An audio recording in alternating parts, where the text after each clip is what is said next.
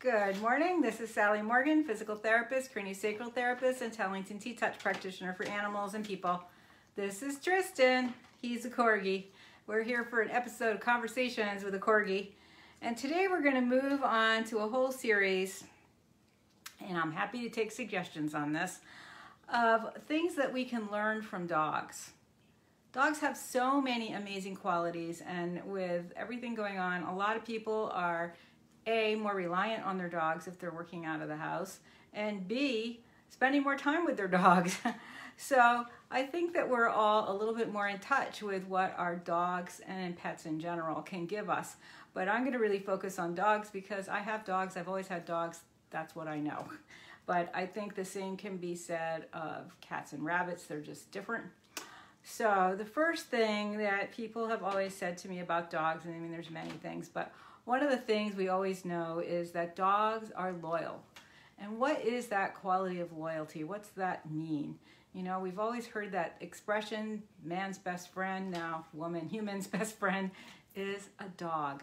And part of why we can say that is because of their incredible loyalty. What loyalty really is, is support, allegiance, staying on your side, even if you're wrong, even if you don't know what you're doing, your dog is loyal to you. They are supporting you. They are um, on your side. And I think that's one of the things we love about dogs in particular that we don't always find in humans.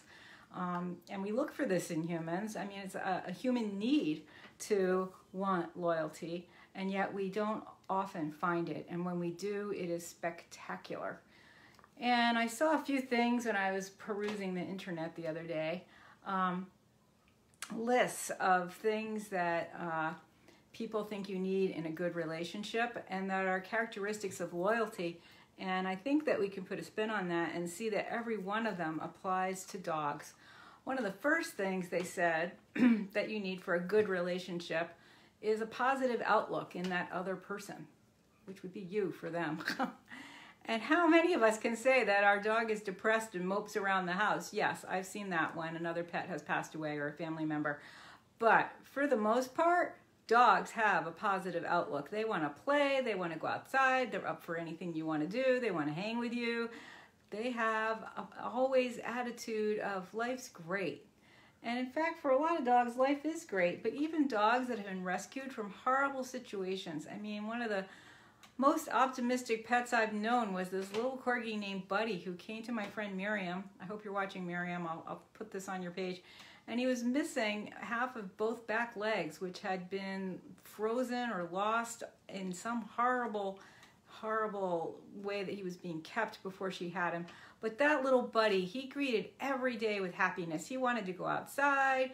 He let her try 50 different kinds of things on his piggies so that he could go out. He would go in the stroller. He liked the other dogs. Positive outlook, critical aspect of loyalty. Another important thing that our dogs do that's an aspect of their loyalty is connect with us. Dogs want to be with us. It is in their nature to be in a pack. Like humans, dogs die when they're alone. It's a very rare canid that is a lone species. Um, even if they spend time alone, they have, you know, a pack and they come together to raise the offspring. Foxes, different types of foxes, the father will disappear for a couple of months but come back and stay with the female and the pups throughout the spring. So there's a desire to have commitment, to be part of a bigger group. This is one of the things that we see in science that's evolving in dogs. They want to look at us because we connect by looking. And so dogs are learning to tolerate looking at us. And wolves don't do that. They've done tons of studies. To a wolf, a stare is, and there's many kinds of stares. We've also learned that because we're so dumb. We think they're all the same.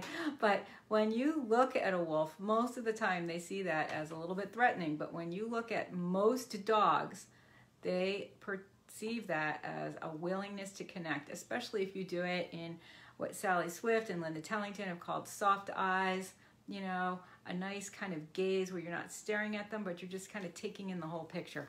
That desire to connect is hardwired to the dogs and to us.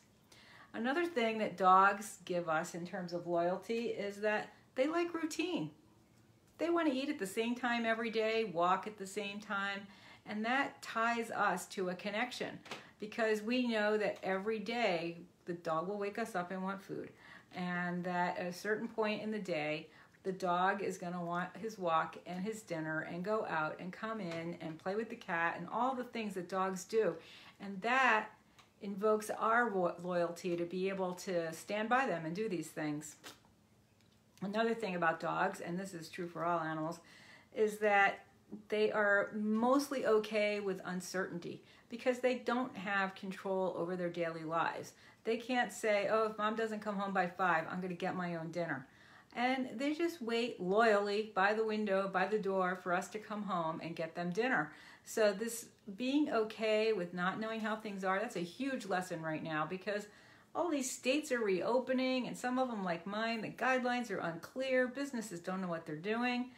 And you just have to be okay with it because you, you can't do anything else except be okay. Getting worried just gets you upset and it doesn't accomplish anything. One of the most important aspects of our dogs and their loyalty is that a tick on your snootin'. Oh, thank God. It's, oh, yes, it is. Well, we'll be getting that later. Poor guy. They're so bad this year. Anyway, another thing is that our dogs are empathetic that comes from their desire to connect with us, with their pack mentality. They want to be with us. That is another aspect of what makes a good relationship, and that is a big part of loyalty and a big part of being with dogs. Ah, and the other thing that dogs have, oh, I can see that tick moving around now, is they have a very strong sense of self. They know their boundaries, they know who they are. They are not walking around feeling insecure for the most part. Some rescue dogs are, and I've worked with plenty of them. But for the most part, they have a strong sense of who they are, and that makes a better connection with some other being. And this is, I think, an issue for a lot of human relationships is that you know you want to connect with somebody who doesn't have a strong sense of who they are or a strong sense of self-worth or lovability and that makes it so much harder to give them the thing they want so having a strong sense of self is a huge lesson we can get from dogs, and it's a huge aspect of loyalty.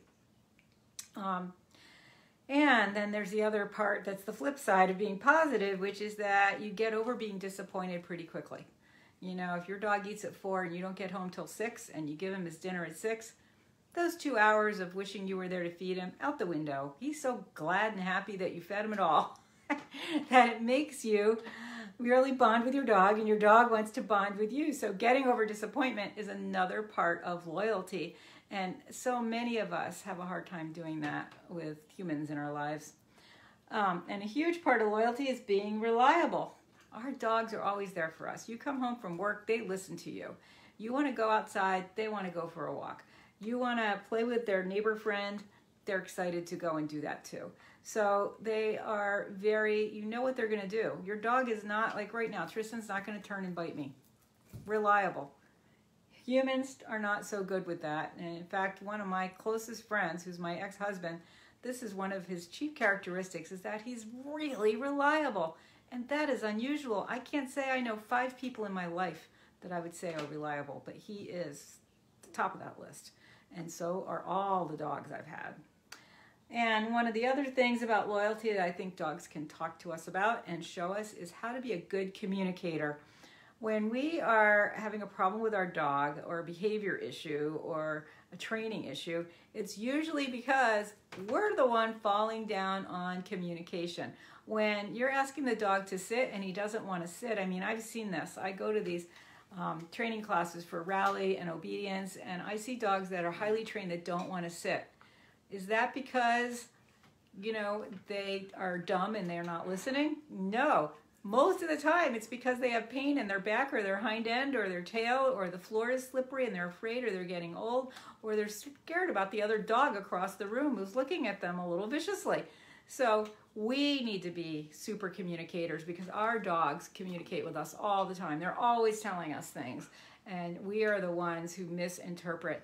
And in fact, somebody on one of the corgi lists yesterday was saying that their dog has been growling at the children and actually nipped a three-year-old and it's a corgi and of course they're nippers they're herders however i mean the response from people was what was so interesting Now, I know as a T-Touch practitioner and uh, physical therapist that that dog's probably got pain in his body. Probably there was a time when they didn't see what the kids were doing. The dog was injured. The dog is now nervous. The dog is only three or four, but it is a corgi. So the chance of something in the back or the hips going off are pretty great. So, you know, and many dogs that come to me have been to the vet, just like this dog, and he said, oh, fine, gross evaluation, fine.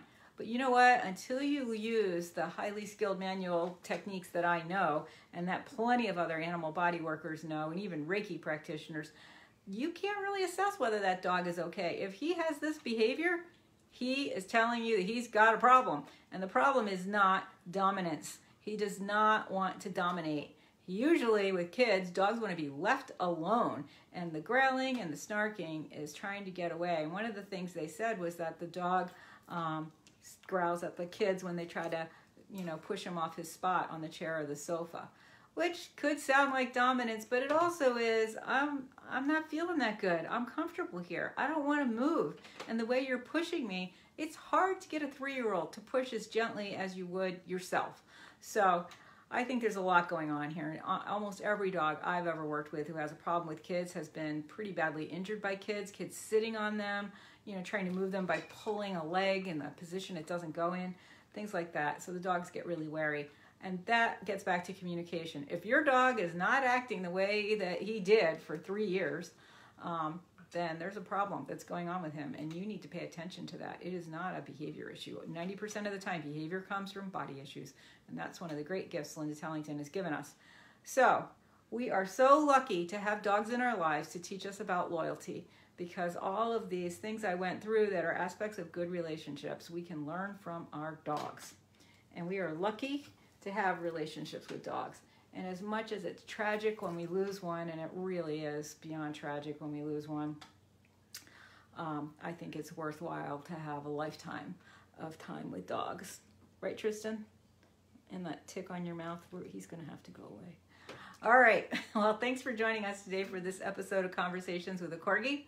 We will be back tomorrow, which is Friday, and then we'll take a break on the weekend, and we're going to continue through many traits that I believe dogs exhibit and that we can learn great things from because, boy, they are wonderful teachers. We're lucky they want to be with us. Great, Trystan. Thanks for joining us. Everybody have a great day and be loyal to your dog and the other people in your life too.